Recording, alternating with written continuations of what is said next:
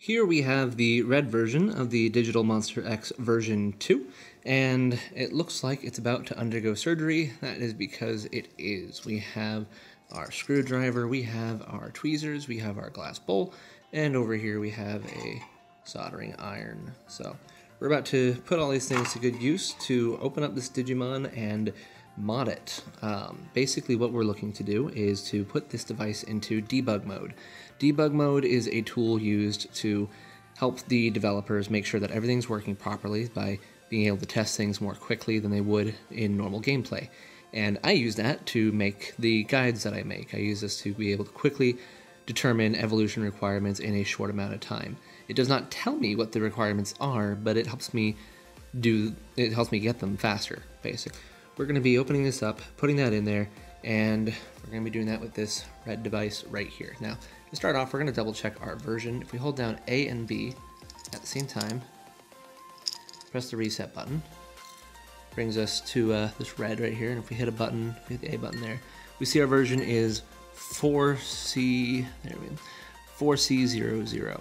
So that uh, C means it's the red one, um, A is black, B is white, and D is red. Now, uh, we haven't tried swapping versions on this yet, but the black and white were able to swap between themselves, but not keep any Digimon from the other version when you swapped. So if you swap devices, it's literally an actual device swap. It's not like the Pendulum 20th, where while you can swap versions, you can keep your save data and therefore keep all of the eggs.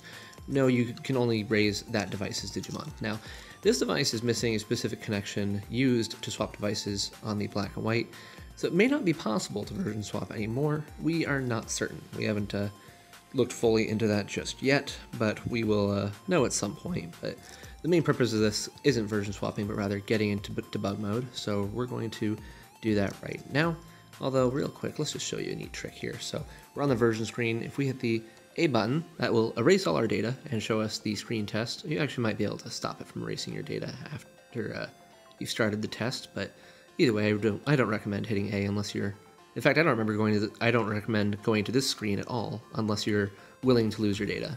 Um, hitting B does nothing, and hitting C brings you to a little sound test where you can try out all the different uh, cool sounds that the device has. So we go to like number six, and there we go. There's the uh, attack sound. Cool. So another cool thing is that we did A and B to get to this. If we do B and C, I believe that does nothing. But if we no, no, BC does do something. It's A, B, and C that does. Let's see. Mm, nope, that didn't do anything. So let's try all three and press it. No. Was it A and C? A and C and reset? Yeah, there it is. You hit A and C and reset, it brings you to a Digimon selector. You do not have to be debugged to access this Digimon selector, but a note is unlike black and white, this device only has the erasable data for its own Digimon. Uh, Black and White had every Digimon on this list, whereas Red only contains Digimon that are supposed to be there, which I guess makes sense. Um, I'm not sure why it is. It may be a data saving uh, cost, because this does have more Digimon than the Black and White did.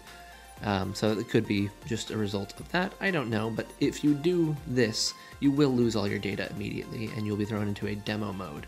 Um, in order to return to regular raising, you'll have to reset the device, and then uh, once you load after you've reset, you'll be able to raise that Digimon like you would any other. So if I really wanted Dark Tyrannomon, I could have chosen him just there. Um, but I'm not going to do that because we're going to we are going to have that feature available to us more readily in debug mode, but I need other stuff as well. So we're going to start by just um, undoing the battery here.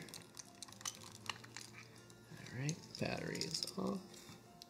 Battery is out. Okay, nice and simple. Now, fun fact, the inside of this device right here is green, but the inside of the purple device is blue. I don't know if that was done to make them more or less visible through the translucency, but it's interesting. The English 20s were the same way. Um, some had blue and some had green, depending on the version.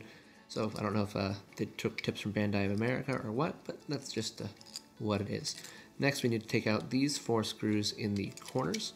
You can use the same, I'm using a very small flat head screwdriver to do this. Um, JIS screwdrivers are also good. I found out that's a good option just a few days ago from a friend of mine. Um, Phillips heads I would not recommend because they tend to strip these types of screws. These are technically not Phillips screws, I guess.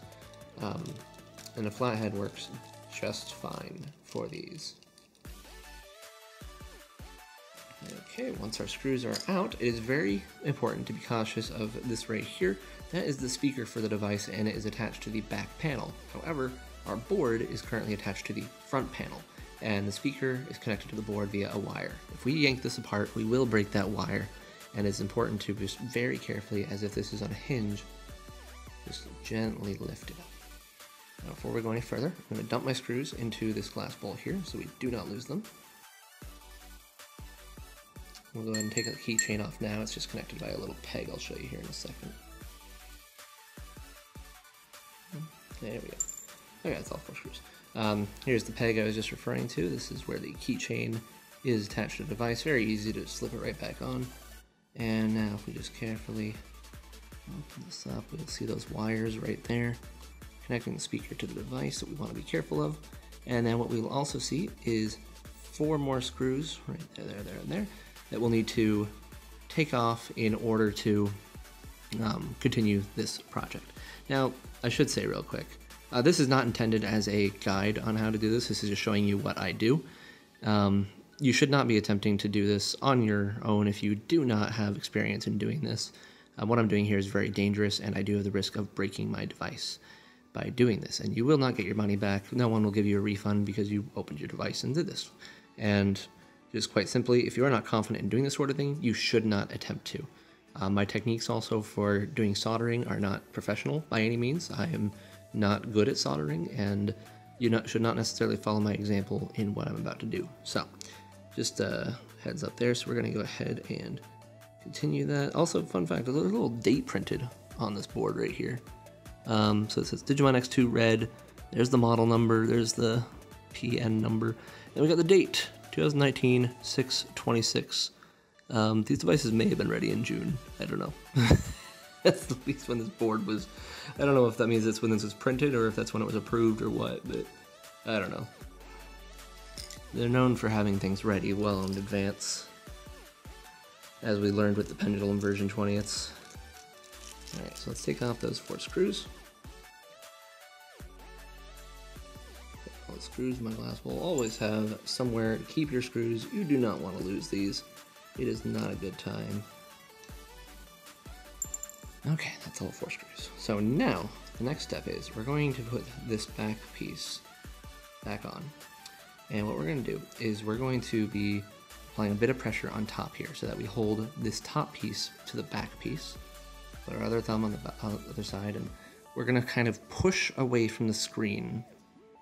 Or actually, no, we're going to leave the screen there. We want the screen to come with it. So we're going to just... Alright, well the screen didn't come with it. Let's see if we can get it to. There we go. Okay. So let's uh, put that down.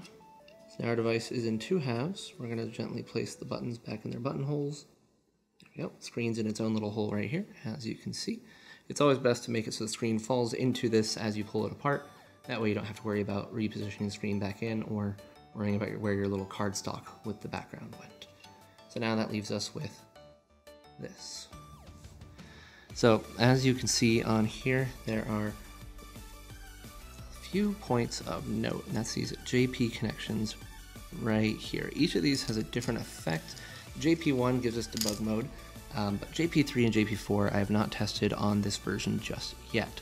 Um, they are likely to be doing the same thing they did on the other um, X versions, black and white, which is that they lock your daily, er, all your Zyrals actually to seven, which is really boring to be 100% honest. And in fact, anything I'm doing right here, I'm not really doing for gameplay purposes, but I'm doing to figure out more about the device. So I don't really recommend doing any of this if you want to have fun with your device. This is for people like me who study it, and which I do find studying to be fun, but as a actual game, the benefits of debug kind of make it annoying I would say. Like if you have fast forward and the ability to choose any Digimon, it's like, well, what's the point then at that, with that, and uh, raising a virtual pet. So what we're going to be doing is we're just going to be connecting the JP1 so that I can test out these evolutions, and we're going to be doing that by applying some solder. Now again, this is not my forte. I'm not a master at soldering, and as such, I'm not going to worry about you being able to closely see what I'm about to do. But I'm just to take a little bit of my solder wire right here, we're to be putting it right over the JP1 connection. And I don't know if my head will get in the frame or not, but if it does, hi, how you doing?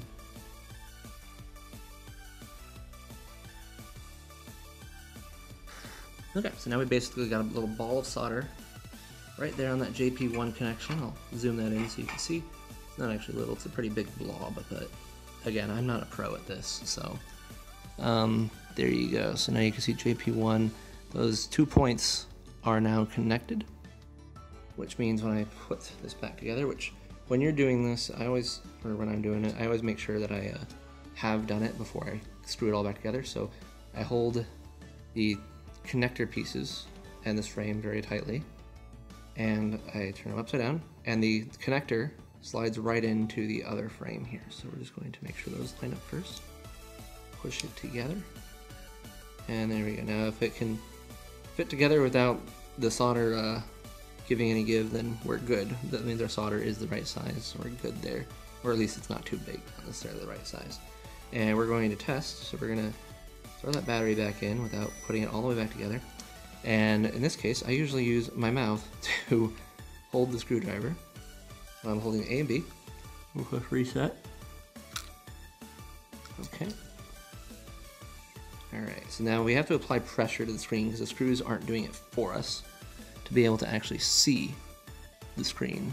Alright, let's see if I can. Alright, so as you can see, red's appearing right there. You can barely see it, sorry. This is not a optimal for viewership to see the screen, but that's not what I'm worried about. So we're going to go ahead and check that, and sure enough, we have a debug banner on our version screen. So that means we successfully entered debug mode. So we're going to now screw this whole thing back together. Let's get that battery back out.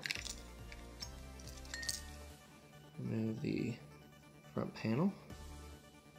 And we're actually, no, we're not to remove the board too. We're to just remove the back panel. Actually, there we go. All right, and so we're to screw these back in. Now, just as a note with screws, um, the corner pieces are all the frame screws, not the board screws. So don't uh, don't put the tiny screws in there.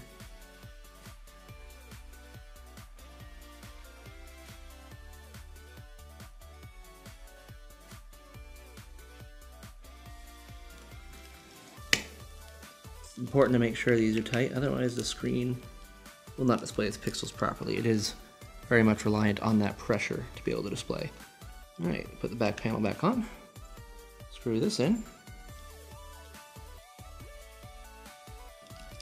And one more there. Oopsie. Okay, so you'll notice I may have forgotten something. And screw these just a bit, not all the way. This is something I forget 100% of the time that I do this. And that is, I forgot to put the keychain back on. now, some people actually like to take the keychain off altogether. I don't blame them. It seems like it does kind of get in the way, but the specific cases that I use as recommended by Purple Flirt. There we go, slid that back on. And just again, that's just a little peg, nothing crazy as far as how that's connected.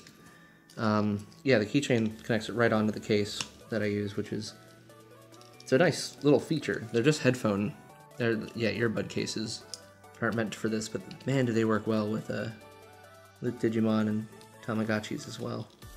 Any small device about this size with a keychain on it, they are beautiful. And there we go, we have a debugged device. Now, what will that do for you? Um, I'm going to explain that in a separate video as well that I'm going to record right now, but I figured this video has gone on long enough, so if you just wanted to see how to open up and do it, there you go, that's all it is. And um, in the next video, I'll explain why I do that in the first place. So I'm going to go ahead and stop this here. If you are interested, please watch that next video. Otherwise, if you got what you needed out of this, well, good. And if you didn't get anything out of this, well, surprise you stuck around this long. I appreciate it. Bye.